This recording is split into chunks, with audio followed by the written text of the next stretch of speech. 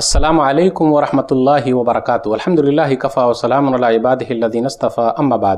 محترم ناظرین اکرام، ایک اہم ٹاپک لے کر آپ لوگوں کے سامنے حاضر ہوں۔ بری نظر اور اس کا علاج۔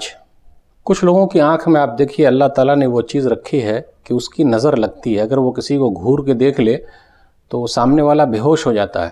اب اس بیچارے میں کیا غلطی ہے؟ لیکن ایسے آدمی کو چاہیے کہ وہ گھر سے کم ہی نکلے، ضرورت کے تحت نکلے۔ اب مجبوری ہے۔ اور نظر لگنا بالکل حق ہے۔ ایک حدیث کے اندر آیا، صحیح بخاری، کتاب الطب حدیث نمبر 5740 العین حق، نظر لگنا حق ہے، بری نظر لگنا حق ہے۔ اس لیے جب کوئی چیز اچھی نظر آئے تو ہمیں آپ کو کہنا چاہیے، بارک اللہ، ماشاء اللہ۔ تو اس طریقے سے ہم اپنی نظر کو بچا کے رکھیں گے تاکہ وہ کسی کو نہ لگے۔ ماشاء اللہ، کتنا اچھا قلم ہے، کتنا پیارا بچہ آپ کا۔ الحمدللہ، ماشاء اللہ اللہ برکت دے۔ آپ پر بہترین چشمہ جم رہا ہے۔ آپ کے فیس کے حساب سے یہ چشمہ بہت اچھا ہے، الحمدللہ سبحان اللہ یہ قلم بھی بہت اچھی ہے، الحمدللہ۔ گاڑی بھی بہت اچھی ہے، آپ کی بائک بہت اچھی ہے، الحمدللہ۔ تو الحمدللہ سبحان اللہ بارک اللہ ایسا کہیں گے تو اللہ تعالیٰ اس میں برکت دیں گے۔ خود کو دوسروں کی بری نظر سے بچا کے رکھنا ہے تو چھوٹے چھوٹے بچوں پر دعائیں پڑھ دیجیے۔ وہ دعا کیا ہے؟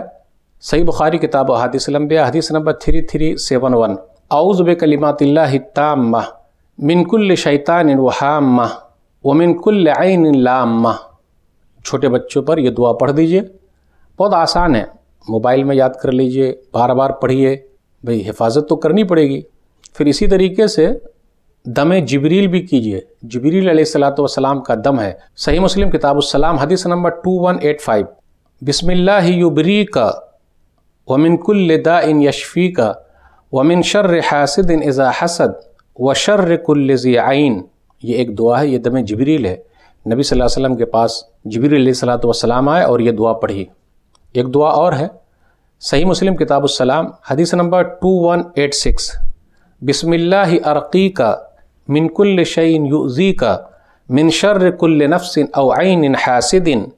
اللہ یشفی کا بسم اللہ ارقی کا یہ بھی دم جبریل ہے، اس کو بھی بار بار پڑھیے، اپنے موبائل میں رکھ لیجیے تاکہ بری نظر سے دور رہیں۔ اگر کسی پہ بری نظر لگ گئی ہے سامنے والا بے ہوش ہو گیا تو اس کو چاہیے کہ وہ وضو بنائے، غسل کرے اور اس کا پانی جو ہے اس آدمی کے اوپر بہایا جائے اور اس طریقے سے وہ ہوش میں آ جائے گا۔ تو یہ چند باتیں تھی اللہ سے دعا ہے کہ اللہ تعالیٰ سب لوگوں کو بری نظر سے دور رکھے، آمین۔ والسلام علیکم ورحمۃ اللہ وبرکاتہ۔